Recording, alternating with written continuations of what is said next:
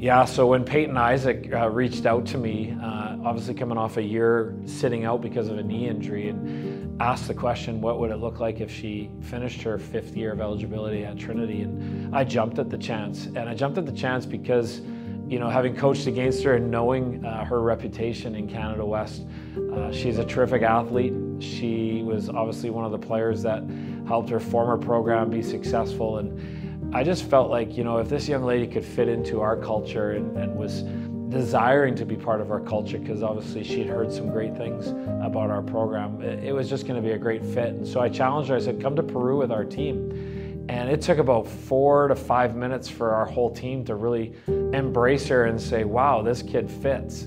And not only does she fit, but she brings a level of maturity both on the field and off the field.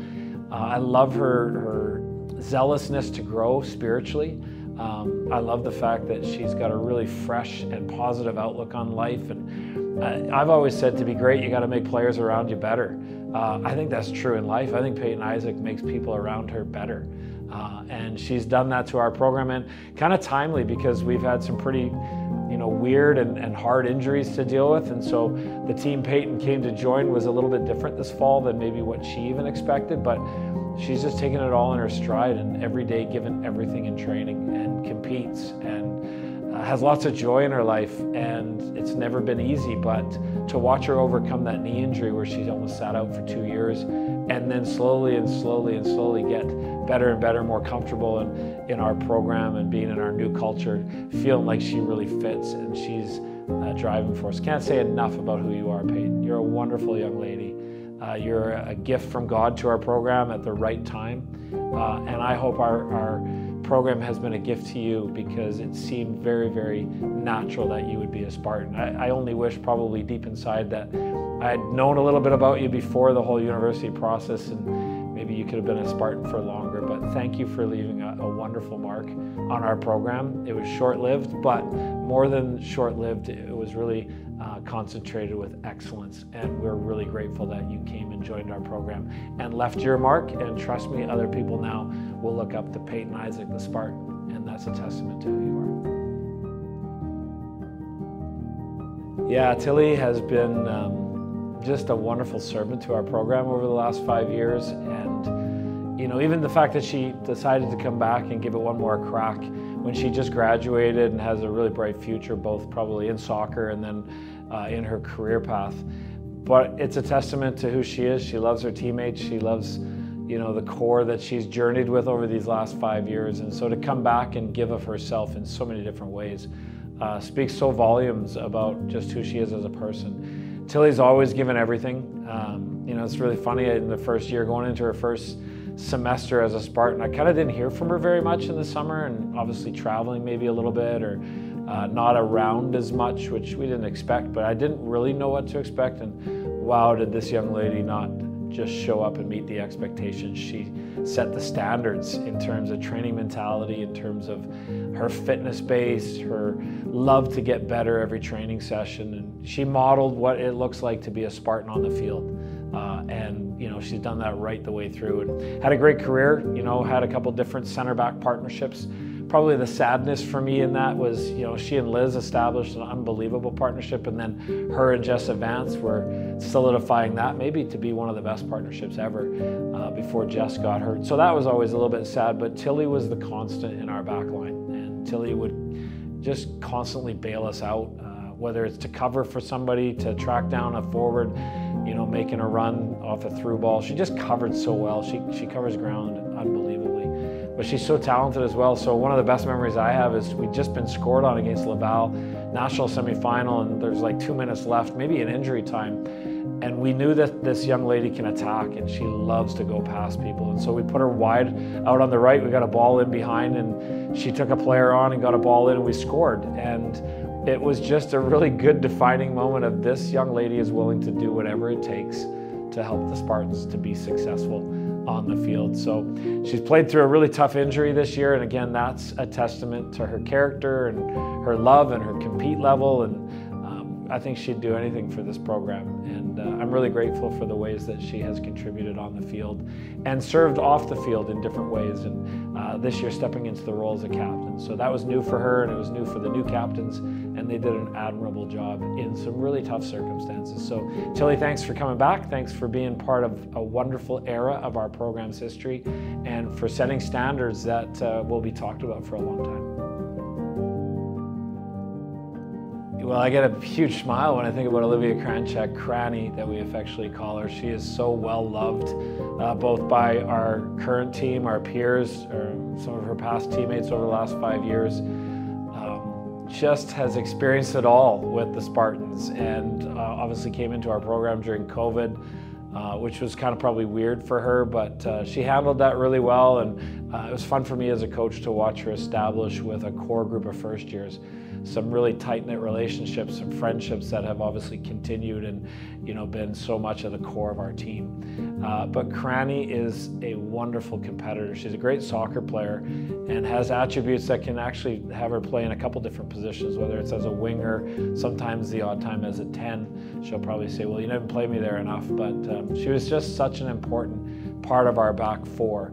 And that back four changed quite a bit over time because of injury, but the mainstay of that class was was really Cranny and then obviously Tilly and her close friendship there. But to watch Cranny blossom as a player, especially when the games got a little bit tougher and you know there was more at stake on the line, she just showed up in big moments. And she's a gamer. She's not scared to get stuck in. She's not scared to make advanced runs. She's not scared to recover and bail us out with a crucial block. Um, and she really plays with her heart on her sleeve. And her personality just couples the way she plays. She's full of uh, lots of energy. She's full of lots of um, spice in terms of, you know, not scared to mix it up verbally and and uh, in terms of getting stuck in and just being a really tough player to play against because she bleeds and and cares so much about our program and her teammates and the Spartans. So, Cranny, thank you. You can't say enough. You've been an amazing Spartan. Um, your career has had, again, injuries and dealt with lots of different ups and downs, but there have been so many good things. I'll never forget the moment when, you know, in the Canada, no, the national semifinal, we're playing Laval, and, you know, a couple of the players started beaking off, and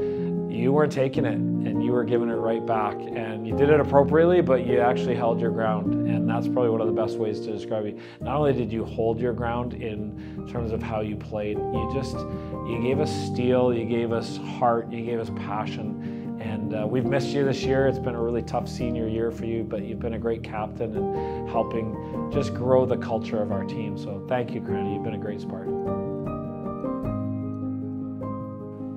Yeah, when I think about Sarah Bazil and what she means to our program, to her teammates, to us as coaches, she's just really an inspiration. And it's been a joy for me, uh, obviously, to watch her come back after two, what seemed to be endless years of rehab and overcoming a, a pretty horrific knee injury. But it's just a testament to who she is as a person. She just constantly drove to be better and to be healthy and to be strong. And I just have visual moments of watching this young lady run laps as she continued her rehab as the team prepared for the next weekend of, of Canada West. And while it wasn't easy, uh, if ever you needed a great picture of perseverance, uh, Sarah Bazil was that picture. And then to watch her step on the field, I think it was probably a highlight maybe of my last five years of coaching to see her step on the field for the first time after that two and a bit year absence. And the whole team, the whole program, everybody around us that knows her story just celebrated with her, and we felt the joy that probably she felt um, just in returning to something she loved with a team that she loved so deeply. And so this year has been a wonderful story to watch her have a full season. Last year, she came back really towards the tail end of the regular season and got herself ready to make a contribution uh, during our run to nationals and, and, the national championship game and winning Canada West here is a young lady that uh, you know serves our program in so many ways, but does it quietly and does it uh, without assuming anything, and without a sense of entitlement. Just gives constantly of herself. Uh, she does it on the field. She plays with reckless abandon. Abandon. She loves going forward. She's very talented with the ball at her feet, but she defends so well uh, equally, and she's just become such a constant mainstay. And yeah, probably disappointed for her and for our team, and also for me as a coach, not to have coached her longer during her five years. She's had a great five years, but it's been a story of ups and downs, of hardship and adversity. But what a character and what a young lady. And she is finishing her time as a Spartan so well. having had a really good season and contributing so well both on and off the field. She's a leader and she's got a bright future, and we wish you all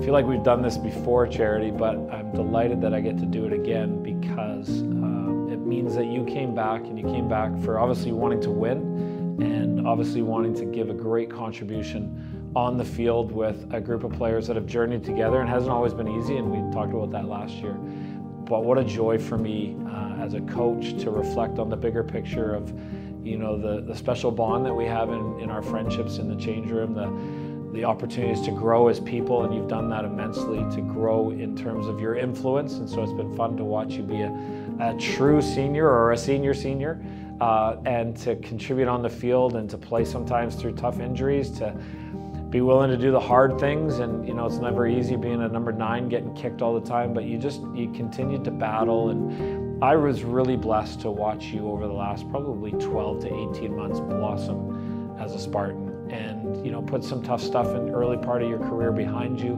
and to really become that influential forward where you can keep us in possession. You generate great chances and score some great goals um, but you link so well with your teammates and you've become one of those forwards that you know obviously the opposition talks about and deals with.